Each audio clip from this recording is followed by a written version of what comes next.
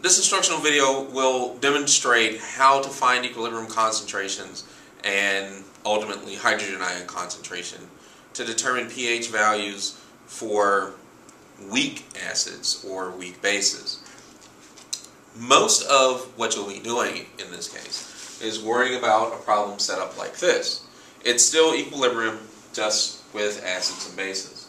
So we have an initial concentration and we have an equilibrium constant, which means that all we have to do is write out the reaction. And so we have a dissociation.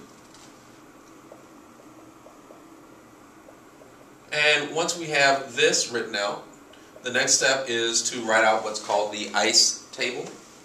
So we have the initial, the change, and then the quantities at equilibrium.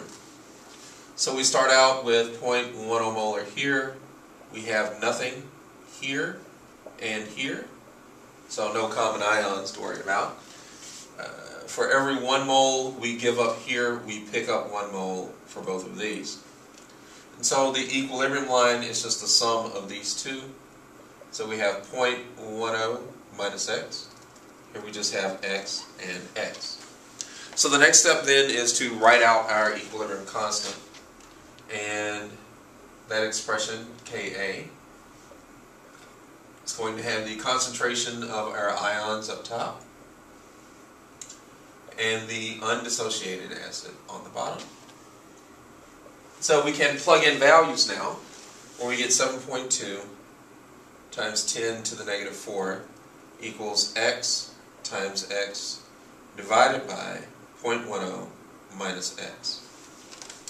So if we can assume that the value that we're subtracting off is very small relative to the amount we started with, we can use the approximation method. So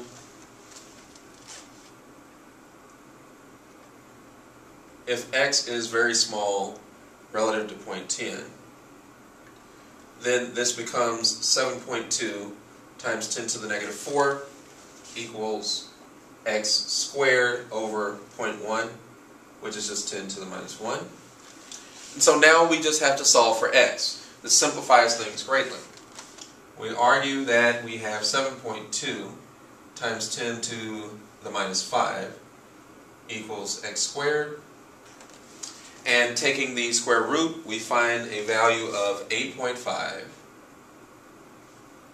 times 10 to the minus 3 equals x. Now, in order to determine whether or not this approximation actually works and is valid, we uh, perform a check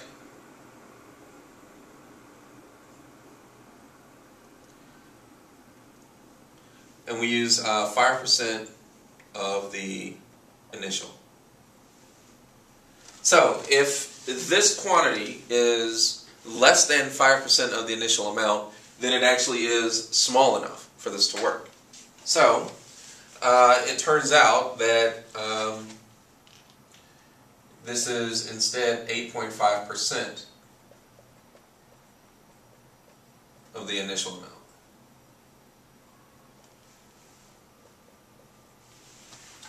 So that means that uh, this is a fail.